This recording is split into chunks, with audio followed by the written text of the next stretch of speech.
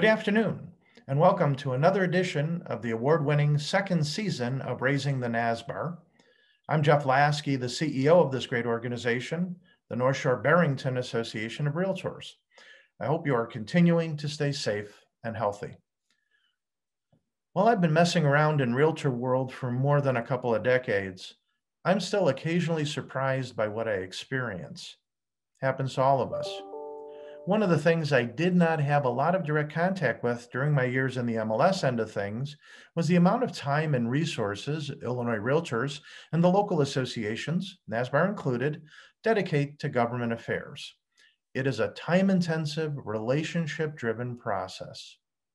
My producer, Bradley Laborman, and I thought it would be a great idea to have someone on raising the NSBAR who could inform me and our members about what is involved in this effort and catch us up on some of the local initiatives and candidates of importance for us all to know about. Who better than the star of NSBAR's GADcast, our Government Affairs Director, Joe Roth, to educate and inform us. Welcome, Joe. Jeff, thanks for having me. It's good to be on this side of the podcast for a change. And it is my pleasure to have you as a guest on, on Raising the NSBAR today.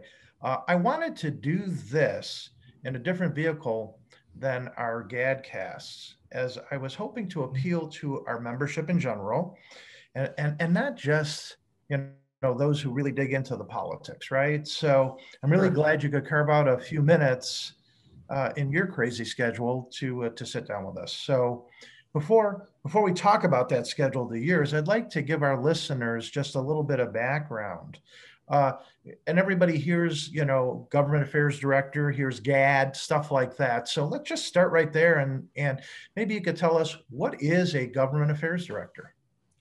That's that's a great place to start, Jeff. Um, you know, one of the things I love working, uh, one of the reasons I love working in the realtor community is that this profession is is kind of unique in that there is a significant impact from every level of government on this industry realtors and their clients kind of feel that impact from national policies to state and local policies. And so my job as a government affairs director is to be your advocate. I'm a realtor advocate, and my job is to represent your interests and the clients you serve. I gotcha. So, in a in a big picture way, let's go there. You know, what would you say are like the big rocks that you deal with? That that you do. Sure, sure, absolutely, and um, you know, of course, we we do a lot of different things, right? So, I mean, I also support our state house lobbying team in Springfield eh, as they need it, but. Uh, on local issues, I'm dealing with policies that are going to impact um, impact the transactions. Things like real estate transfer taxes. Hmm. Uh, if they are a um, either it's an admission fee, you know, kind of you got to pay the tax before you can come into town, or it's going to be, you know, kind of a before you leave town, let us take a little bit of that equity from you. Um, either way, it's an inappropriate tax and something we fight against. Uh, we also look at things like what kind of authority the government has. Uh, we often talk about this as home rule, which is policies that essentially allow unlimited taxing authority and regulatory authority from a local government obviously something we oppose.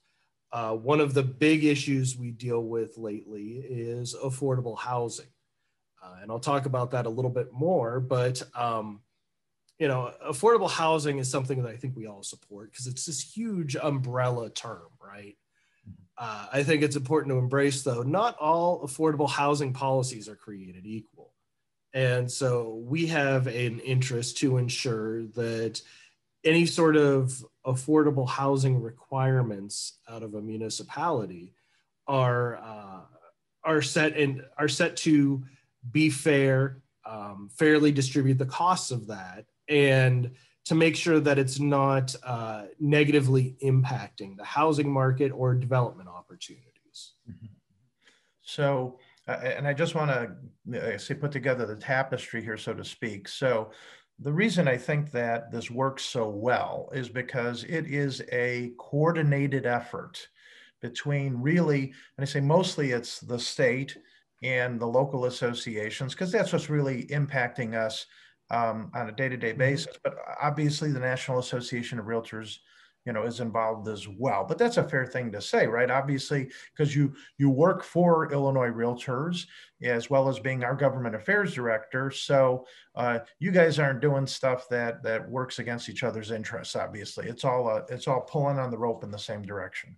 Absolutely, that's absolutely fair assessment. Um, and I think it is. We all work together. You know, I think we're all in this together, and we're supporting the same people, and and that is realtors and their clients. And um, you know, I think it's having consistent policies and being able to leverage the resources available at kind of a statewide level is really gives us a big advantage. Mm-hmm, mm-hmm. How does all of this stuff that you're talking about translate to a day to day?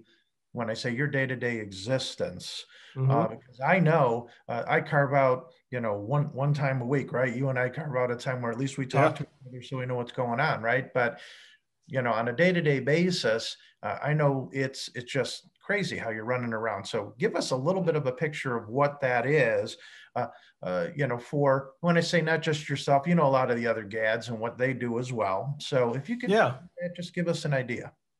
Yeah. I, so, and again, it's kind of one of the things I love about this role because every day is kind of unique, right? And um, you know, I, I I spend a lot of time reviewing local policies and municipal agendas.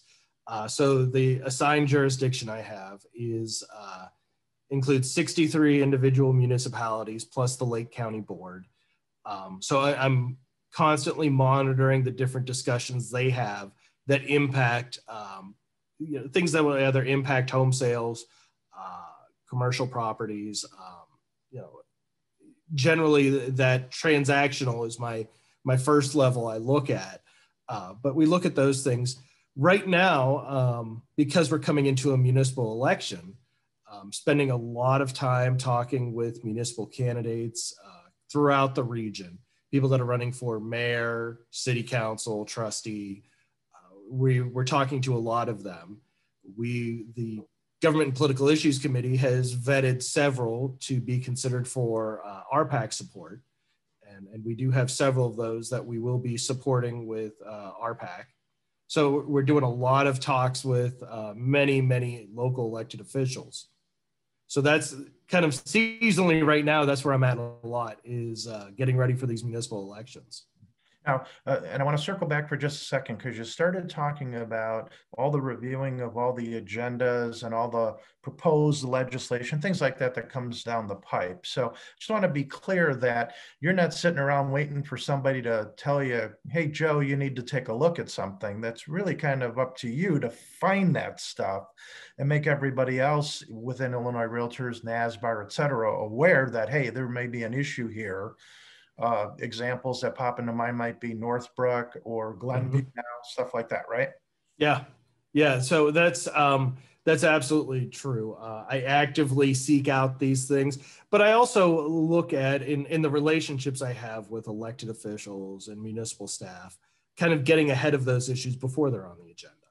Mm-hmm. Um, sometimes, you know, you can't know, you know, you can't be ahead of every issue, of course, but um, we, we do our best to make sure that we stay ahead of the curve. And, uh, you know, one of the things we try to do is if there's a bad idea coming and we're hearing about it early, our hope is to just keep it off the agenda um, mm. and, and, kind of kill it before it makes it there. Um, not always possible, but definitely one of those things we try to do.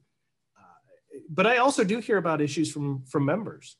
Um, you know, I always encourage our members if you have something going on that just doesn't sound right, something that's a real pain for you that you're dealing with, whatever that is, give me a call, email, text, whatever it is. Let me know what's going on. Um, we might be working on something to address it, or you know, I might not know about it. I am, I might not have that knowledge, and you know, I can work on doing something to improve that situation. Okay, now, so you mentioned, so, okay, certainly uh, legislation on a municipal level. You also mentioned uh, a little bit ago the municipal elections. Okay, so yeah, just throw out a hypo hypothetical to you. I'm Jeff the realtor, right? And I'd like to know why we spend time on municipal elections. How does that affect real estate professionals? That's a great question, Jeff. And I, I it all comes back to you know th- that daily life that a realtor has in in supporting your clients. The municipalities are the ones that create the rules that impact the the day-to-day life of a realtor right? Are we going to have to deal with municipal pre-sale inspections? That's something we often deal with right? And that's something that we fight against. Uh, not to say it's not a you know buyers inspections are a great thing a great tool that many use these are additional inspections and i've seen some municipalities that will stop a transaction from happening if you don't remedy whatever issues they came up with hmm. uh, and remedy them before closing. So you know there's there's issues like that. The transfer taxes are another one. Um, affordable housing policies i keep coming back to that because i see it so much lately. Um, you know different uh, policies impacting rentals you know those are all decided at the local level. Zoning you know building codes all of those pieces that impact the housing market and on, on a bigger scale. And on a smaller scale they impact the individual transactions. And so those are municipal policies and we need to be talking to those policymakers to make sure that our interests are represented in in those discussions. Mm-hmm.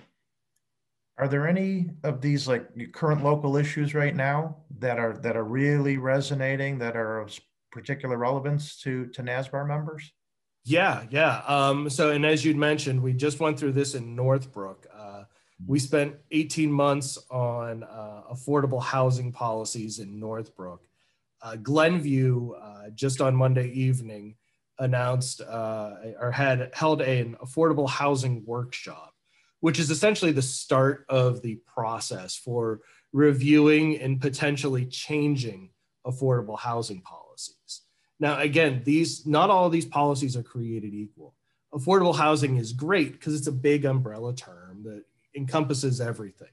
But uh, the reality is, is that sometimes municipalities want to take shortcuts and just, you know, put price controls on a number of units from a new development, um, you know, or, or processes like that. Well, that that has a negative impact on the bigger housing market, and it makes that community less less attractive to develop it so I, I think stagnation's bad, right? So we want to promote policies that you know are, are pro growth and not uh, you know not leading to stagnation. So very detailed policy, but something that we're going to work through and represent realtor interests on. Uh, one other I'll, I'll, highlight real quick. Um, this recently uh, was delayed, but uh, the village of Glencoe has been talking about home rule authority. So this would be a referendum to voters asking for basically uh, asking for a municipal blank check. Um, it would give the uh, give the village board near unlimited authority to create new regulations.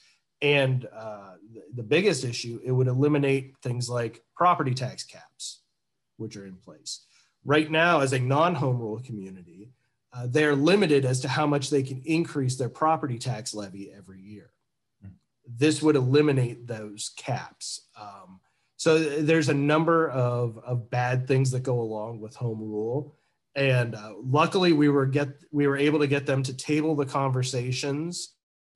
Uh, so we'll not see that referendum in the April election, but they are likely to revisit the subject uh, prior to the 2022 elections. Hmm. It sounds to me like in all the work that you do, you must create relationships, right, locally with all these municipalities. That has to be of, real value to you, whether or not these people end up agreeing with you on stuff, right? I mean, you work with absolutely time, right? Mm-hmm. Absolutely, and I think that's you know the, there's always um, when we build those relationships, I think it benefits all of us. But I will say as well, you know, a lot of times I, I talk with the realtors that uh, say, oh, I, kn- I know somebody over on the village board, right? I, I know I have a former client that's the city manager or whatever it is, right? Um, oftentimes realtors help me out a ton in these processes and they're a huge asset. You know, members are a huge asset in this process. Well, and you, you've led right into what I was thinking about asking you next, because it doesn't. I mean, as as much of this work as you do, by yourself and and doing the grind, right? Getting out there and doing that stuff. This isn't the kind of thing that you just handle all of this on your own, right? You you work with realtors to get this work done. Specifically, a lot of our own NSBAR realtors help you out. Absolutely. I um, anytime I have an issue, um, I probably know a realtor in that community that I'm going to talk to as soon as the issue comes up. Um, you know, and I have an issue in, in Lincolnwood, for example. I'm going to call Don Gelfand, our government and political issues chair, and uh, say, you know, hey Don, here's what I'm seeing in Lincolnwood. What's what's going on? Now with Don, chances are he knows more of the story than I do already, so he can just educate me. But um, you know, and a lot of times too, realtors are the elected officials themselves, mm. and they um, you know, they have a, a role in the local government that um, I can be of support to them and say, oh, let me get you some some research on these policies or some information that might help in making the decisions in a realtor friendly way. Mm-hmm. Yeah, and and those elected officials that happen to be realtors, often, you know, in our neck of the woods, there, they'll be NSBAR members mm-hmm. that support you're talking about, uh, can often come in, you know, terms of making recommendations to RPAC, Illinois, uh, Illinois Realtors RPAC to help fund their campaigns. We want to support the people that support the issues that are important to us. Absolutely. Mm-hmm. Yeah. Now, and I, I guess the other angle I'm looking at here is our realtor members. Uh, and I'll ask you because I don't know how effective it is, but uh, let's say there's an issue in a particular um, suburb and we have realtors that aren't necessarily elected officials, but are residents of that area, right? And you go to them and and does it help to talk to those people and does it help for them to become involved somehow? Absolutely, it does. I um, you know, as a, because first and foremost, you're, you're a constituent of those elected officials. You're a resident. You are the people directly affected by that. And that voice as a resident is important. Uh, but uh, to take it a step further, your knowledge as a realtor is valuable. Um, I don't think we can ever take for granted the the depth of knowledge about communities that realtors carry with them. Um, that most people don't have. Most people don't have the depth of knowledge about communities that realtors do. And so it adds a level of credibility to what you're saying, um, just by the nature of what you do every day. And so that voice is always very powerful. And it's, um, I know I worked with realtors in um, in Glencoe recently on these home rule issues, and their voice resonated very strongly. And you know, for me, it it makes my life a little easier when realtors and residents are reinforcing that message because then it, it starts to get their attention like oh okay this isn't just one off this is something we really need to examine a little further. So very very valuable thing. Well and aside from you reaching out, let's say an issue comes up somewhere and, and you go and identify and, and talk to those people, I know that there are committees, there's task forces that you actually participate on. So we'll focus on on NSBAR and and I'll ask you what committees, what task forces at NSBAR do members participate in that you work with as well that really impact upon this work? Yeah, and the most direct fit is the Government and Political Issues Committee, um, chaired by again Don Gelfand. Uh, we love Don, uh, but he's um, he chairs our committee. I believe 21 members are currently on the committee.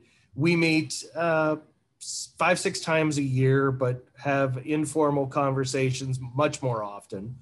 Um, and we get together and we discuss a lot of different issues. Number one, we discuss what are the policy things happening around the communities, right? What are the conversations? We have a, a geographic diversity of, of, members there. So it's not everyone's in one town. Um, and everyone there is paying attention to what's happening in those communities and have have valuable insights in the process um, you know as we discuss those issues and how we can best tackle those things uh, in addition um, you know, we talk about RPAC and we talk about the candidates that are running. So we talk about the policy side and we talk about the, you know, the the more political side of it, which who's running for office and how can we evaluate these people to determine who's who's going to be the, the champion for realtors and homeowners. And and and so people will normally hear that referred to as GPIC, right? So that's where people will hear that. I know that there's a subcommittee of GPIC, right, that you formed, uh, an RPAC subcommittee. They really focus on our efforts to make people aware of what RPAC's doing and how they can contribute, I'm sorry, invest in RPAC to, you know, uh, uh, to help that along, right? So. Yeah, absolutely. And I think that's, um, Jamie Gordon's chairing that subcommittee for us. And again, looking at, you know, how do we, how do we help members understand what RPAC is and the, what's the value of it? Um, a very, very uh, big undertaking, but uh, very worthwhile because I think RPAC's a, a strong, uh, a strong part of our advocacy uh, programming.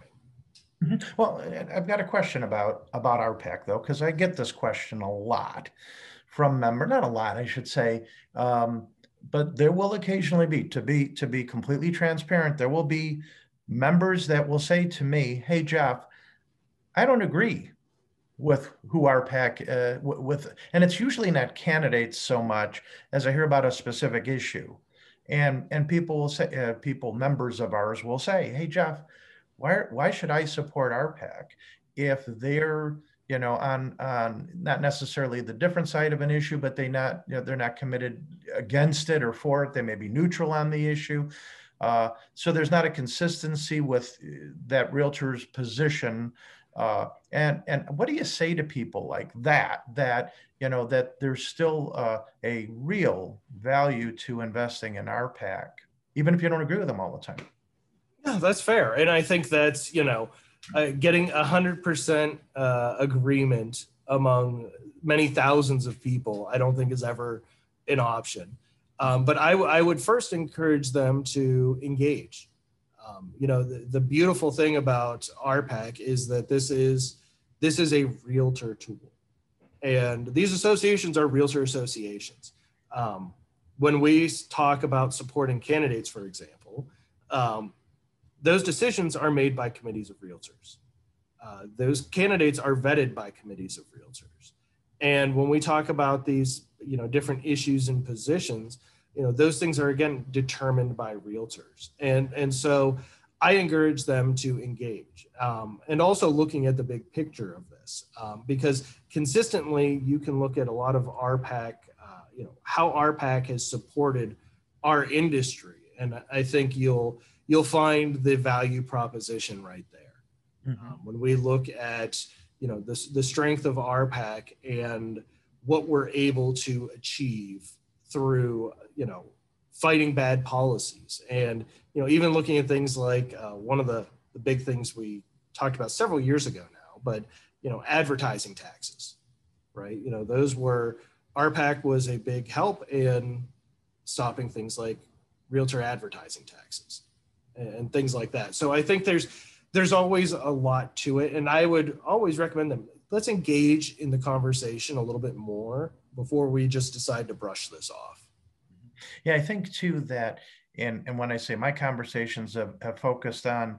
Uh, you want to invest in and support an, uh, a, an organization or a group that is protecting real estate, protecting private property rights, even if there's sometimes, and it's it, it really isn't often. I, I know people want to, you know, there's a an urge to exaggerate sometimes. Uh, it's not often, but there are occasions where there may be some disagreement. But most of the time, we're all in agreement that we don't want to have these, uh, you know, transfer taxes, you know, uh, in these individual municipalities uh, at all, let alone mm-hmm get raised. We're all against property taxes, you know, stuff like that. It's fairly straightforward, and it's nice to have a, a, a strong and influential voice that can protect our interests. Yeah, absolutely. And I, I again, I look to you know supporting those candidates that support us. Yeah, yeah, no, absolutely. Um, I know you let our members know about what's going on and uh, and there's always you're always contributing to our weekly e-newsletters, and obviously you do your GADcasts. Uh, are there any other resources that our members could consult to stay on top of things? Yeah, well, there's and there's a lot of resources out there, and there's a lot of a lot of things to stay uh, on top of. Um, I'd be remiss if I didn't um, reinforce the value of our calls for action as mm. well, and and making sure that you follow along those things. Now, that's not a regular thing, right? You know, I think maybe maybe if we do four in a year, that's a pretty busy year for us. But um, those calls for action, again, about that, getting that realtor voice in front of your elected officials, critical importance on issues that are very important. Um, best way to do that is sign up for the mobile alerts. So that way you can get a text message on it. You can read about it when you have time, and it's in your text messages. Um, and it lets you very easily respond to that. Uh, just have to text the word realtors to the number 30644. That's 30644. So I'm hoping we get at least one or two people to pull out their cell phones right now. Um, but that's a, that's one easy way. Um, you know, and again, engaging with uh, with our committees and processes. You know, that's another easy way. I think GPIC we might meet six times this year. Maybe it's five.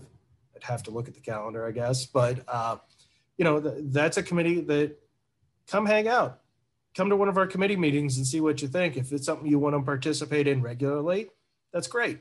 Let me know. Um, and also just email, pick up the phone, call me. You know, whatever it is. If you've got something that you know about or something you want to learn about, let me know.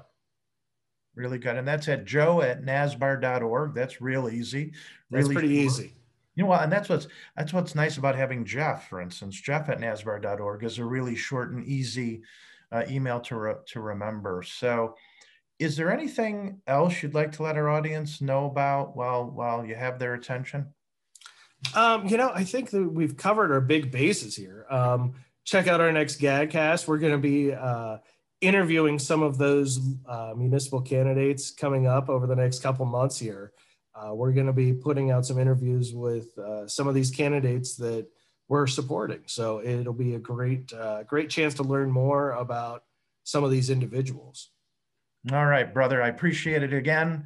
Thanks for spending this time with us. I think that uh, even the most uh, yeah, the busiest of members who, who don't really get a chance to participate in this stuff could take a few minutes and, and get a better understanding of the value uh, that you bring to our association and in general the value of government affairs and RPAC uh, to what it is that we do as an association.